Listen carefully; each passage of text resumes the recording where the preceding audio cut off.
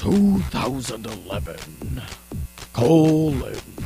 Year of the taco. Exclamation point. Yes.